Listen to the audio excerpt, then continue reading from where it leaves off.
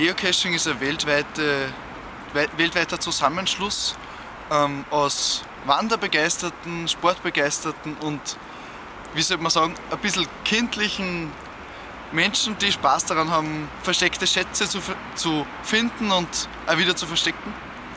Und das funktioniert über neue Technik, eben über GPS, ähm, wo kleine, also kleine und größere Gegenstände versteckt werden, im Internet die Koordinaten angegeben werden und dann die von, von anderen Menschen wieder gesucht werden können.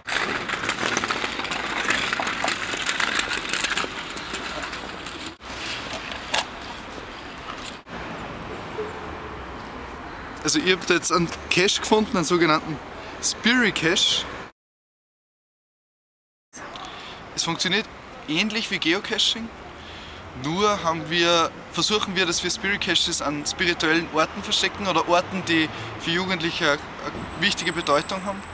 Und wir möchten die Inhalte mit ähm, spirituellen oder inhaltlichen ähm, Themen füllen. Das heißt, dass auch ähm, beim Finden eines solchen Schatzes nicht ein kleiner Gegenstand drinnen ist wie beim Geocachen oder nur ein Logbuch, sondern dass auch ähm, Themen und, und spirituelle Inhalte irgendwie Platz finden. Er besorgt sich ein GPS-Gerät oder ein GPS-fähiges Handy, ähm, geht auf die Kaye-Karte auf der Kaye-Homepage unter Spirit Caching und sucht dort den nächsten Cache in seiner Nähe, schreibt sich die Koordinaten auf einen Zettel und gibt sie in seinem Handy ein. Und das Handy oder das GPS-Gerät führt dich dann genau zu, zu dem Ort, an dem der Cache versteckt ist. Dann kann man sich ganz leicht bei mir melden, im Forum Pfarrer Gemeinde, Jakob Volsner. Äh, ich bin bereit, dass ich mit dir eine Caching-Tour veranstalte, dass wir gemeinsam cachen gehen oder dass wir einfach nur Caches verstecken gemeinsam und dass ihr das dann selbst macht. Ich kann mir aber nur treffen mit dir und dir das Gerät erklären und das Prinzip erklären und du gehst dann selbst cachen mit deinen Jugendlichen. Auf der Burgalt Bernstein mhm. machen wir am 9.3. eine sogenannte Caching-Tour für alle, die es interessiert, die einfach mal mit einer, einer Gruppe erleben wollen, wie Cachen funktioniert. Wir werden dort Spirit Cachen an einen sogenannten Multicache, das heißt mehrere Caches hintereinander, die zusammengehören und wir einen Themenkomplex bilden. Wir werden dort geocachen und wir werden lernen, wie man einen Cache setzen kann.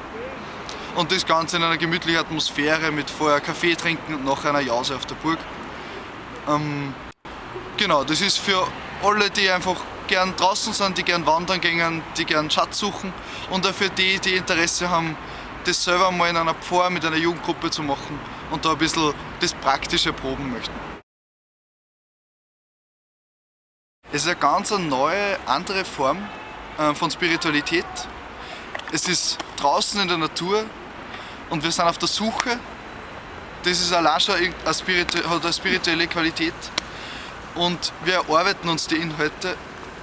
Das hat auch, äh, also wir, wir können, wir werden nicht, wir nicht, wir kriegen nichts präsentiert, sondern wir, ähm, wir müssen uns das selbst suchen und gleichzeitig ähm, müssen wir, wenn wir einen Cache finden und dort neue Inhalte eingeben wollen, ähm, müssen wir uns ganz intensiv damit beschäftigen, was ist für uns ein spiritueller Inhalt, was hat da drin Platz, was ist so wertvoll, dass es ein Schatz wieder verstecken kann.